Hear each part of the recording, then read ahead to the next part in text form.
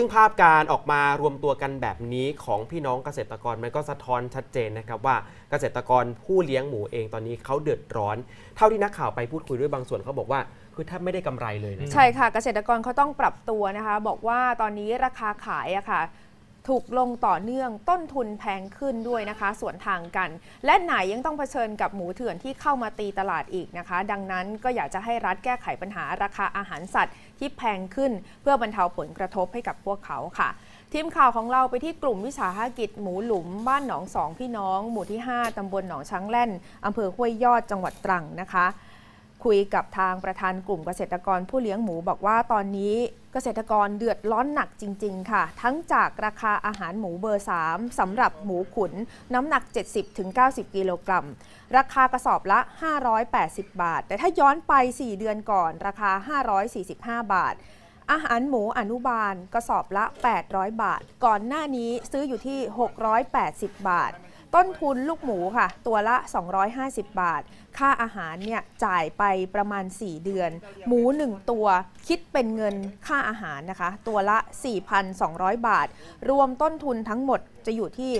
6,700 บาท เลี้ยง 4 เดือนค่ะคุณผู้ชม หมูจะน้ำหนักประมาณ 110 กิโลกรัม ก็จะจับขายได้ ตอนนี้ขายที่กิโลกรัมละ 70 บาทที่หน้าฟาร์มนะคะ แล้วคูณกันไป 110 กับ 110 กิโลกรัมคูณ 70 ก็จะได้ประมาณ 7,700 บาท แล้วก็หักต้นทุนค่าลูกหมูค่าอาหารเขาบอกว่าเหลือเงินกำไรต่อตัวเนี่ยอยู่ที่ 300 บาทนี่ยังต้องหักค่าแรง ค่าน้ำ แล้วก็ค่าไฟด้วยนะคะ เขาบอกว่าตอนนี้เผชิญกับภาวะขาดทุนจริง ๆ ค่ะ ถ้าไม่ปรับเปลี่ยนมาเลี้ยงแบบนี้ก็ขาดทุนแน่นอนสวยจริงๆแต่ถ้า ถ้าเลี้ยงแบบของผมก็พออยู่ได้เพราะเรามาได้คำมาได้ในส่วนที่เป็นมูลเป็นการต่อยอดโดยการทำเรื่องนู้นเรื่องนี้ แต่ถ้าจะให้เกษตรกรมาทำทุกคน ผมว่ามันก็คงจะเป็นไปไม่ได้ เพราะว่าบางคนเขาก็ไม่ชอบ แต่ส่วนตัวผมผมว่าผมชอบนะทำแบบปุ๋ยอินทรีย์แบบเนี้ยผมว่าผมชอบนะ ก็เลยต้องปรับตัวมาทำแบบนี้นะคะ เป็นเลี้ยงหมูหลุมค่ะ ซึ่งต้นทุนการเลี้ยงหมูควรจะขายหน้าฟาร์มได้ที่กิโลกรัมละ 85 บาท จึงจะอยู่ได้ ตอนนี้ผู้เลี้ยงหลายรายในกลุ่มของเขาเนี่ยประสบภาวะขาดทุนในการเลี้ยงครั้งละ 3-4แสนบาท แล้วก็เริ่มท้อแล้วนะคะ เพราะว่าบางคนบอกว่าไม่มีทุนเลี้ยงต่อ บางส่วนต้องหยุดเลี้ยงชั่วคราวด้วยค่ะ ราคาหมูที่ตกต่ำลงมาต่อเนื่องติดต่อกันประมาณ 2-3 เดือนแบบนี้นะคะ ราคาลดลงก็บอกว่าเกษตรกรเนี่ยตั้งตัวไม่ติดกันเลยทีเดียวค่ะ ราคาจะลดลงทุกๆวันพระ วันพระหนึ่งเนี่ยลดไปประมาณกิโลกรัมละ 5-7 บาทค่ะจากก่อนหน้านี้เขาเคยขายได้หน้าฟาร์ม 80 บาทต่อกิโลกรัม ขยับลงมาอยู่ที่ 71-72 บาทต่อกิโลกรัม สาเหตุเขาก็บอกนะคะบอกว่าเขาคิดว่าก็น่าจะเกิดจากการที่มีหมูเถื่อนนำเข้ามานี่แหละ แล้วก็ต้องการให้รัฐแก้ไขปัญหาด้านต้นทุน เพื่อช่วยเหลือเกษตรกร ก่อนที่เกษตรกรเนี่ยจะอยู่ไม่ได้ ขณะเดียวกันเขาก็บอกนะคะว่าสิ่งที่เขากังวลก็คือค่าไฟที่แพงขึ้น ก็กลายเป็นต้นทุนที่สูงขึ้นสำหรับเกษตรกร แล้วก็ยืนยันนะคะว่า หมูในประเทศมีเพียงพอต่อการบริโภคค่ะ ไม่จำเป็นต้องนำเข้าไม่ว่าจะนำเข้าแบบว่าถูกกฎหมาย หรือว่าการลักลอบนำเข้าที่ตอนนี้เขาพยายามที่จะอยากให้รัฐเร่งแก้ไขปัญหานะคะเนี่ยค่ะก็เป็นเสียงสะท้อนของเกษตรกรในตอนนี้นะคะ ไม่รู้ว่าสถานการณ์หลังจากนี้จะเป็นอย่างไรโดยเฉพาะการ